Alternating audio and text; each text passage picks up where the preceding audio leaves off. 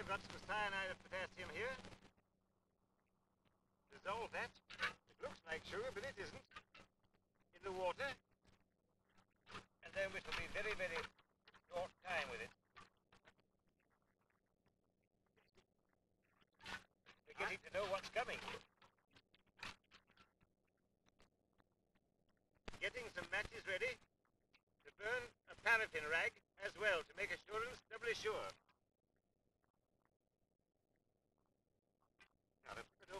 the hole. Start it. Drag it. Oh, here's an income tax form.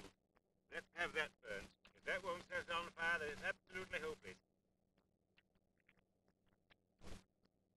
That's better. Oh, that's... Oh, some form.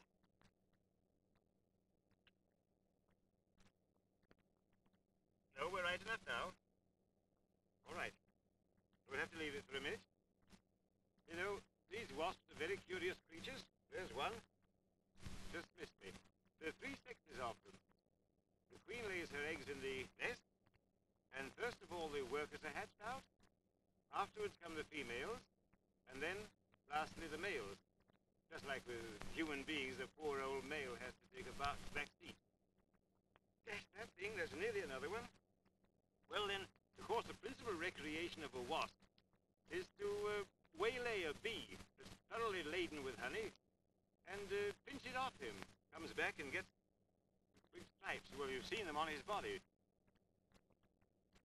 One more point about the wasp, and that is it's only the, the female wasp which stings. Again, that's rather like, well, however.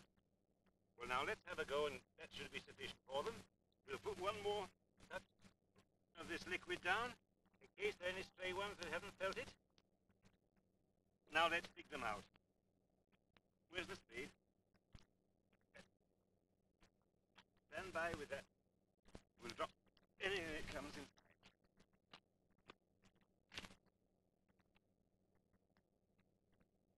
wrong,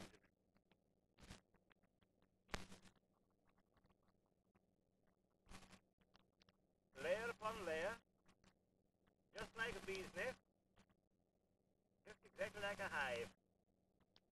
Dead wasp, and then lower, a lot of grubs, which otherwise would have become wasps,